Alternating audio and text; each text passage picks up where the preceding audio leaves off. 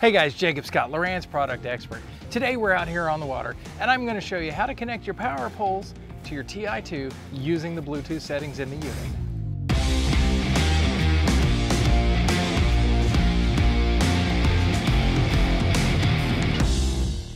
Okay guys, the first thing you wanna do, if you haven't already done it, press your pages button.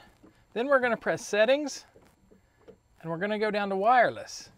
Now as you can see here, my Bluetooth is turned off, so we're gonna turn the Bluetooth on, and it's gonna take a minute to initialize. Now that it's initialized, we go to Bluetooth options. And as you can see, it's gonna find the power poles. So we'll go ahead and select the power pole, and we're gonna pair it. And then we're gonna select the next power pole and pair it since we have two power poles on here. Okay, now you can see both of my power poles show up as paired devices. Now that you have your power poles paired with your unit, we can see in the down scan, we got our power pole bar on the right hand side of the screen. So we give that a touch. You can see they light up port and starboard. So the cool thing is you can run them individually or if you just push that little chain link right there, it links them together.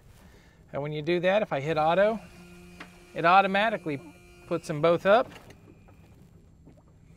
or puts them both down.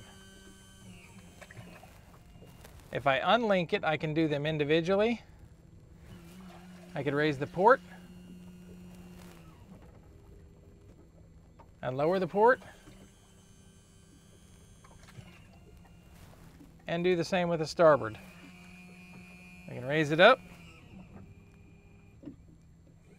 or we can lower it. Okay guys, so that's how you connect your power poles to your TI2 and that's how you use them. Um, it's really handy, it's a really great feature to use. It means you don't have to have controllers all over the boat to use your power poles. Very convenient. Don't forget, if you like this video, give us a thumbs up and then right up here just above my head you see that subscribe box. Give that a little click and you'll get tips like this every week.